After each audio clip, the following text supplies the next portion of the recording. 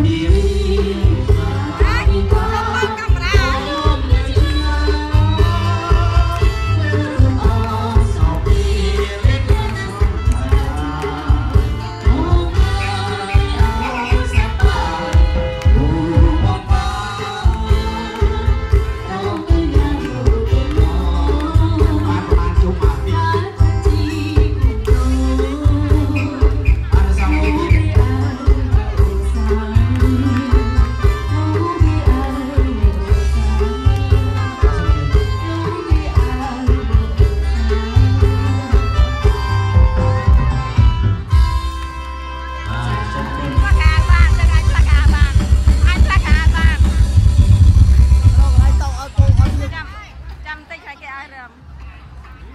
អូនអូនក៏ដល់អាចថាកាយបានហើយអត់ទេកាយបានឲ្យផ្កាមកសិន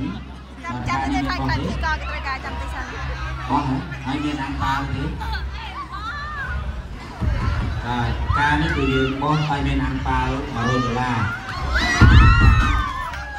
តែខ្ញុំសូមជម្រាបផងដែរថា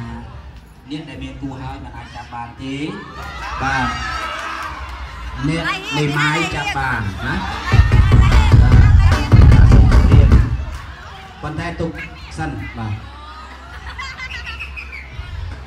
ចឹងអឺខ្ញុំបាទសូមអឺសូមអ្នកមានគុណបាទកឹបកឹបកឹបបុត្រីបាទចូលឲ្យគៀកបន្តិចទៅឲ្យគៀកកូនបាទបាទគៀកបន្តិចបាទចឹងខ្ញុំរាប់ដល់3សូមឲ្យក្រុមគ្រួសារបងទាំងអស់បាទលើកដៃសំពះដល់ភីវិទ្យុរបស់យើងមួយណាបាទដើម្បីជាការថ្លែង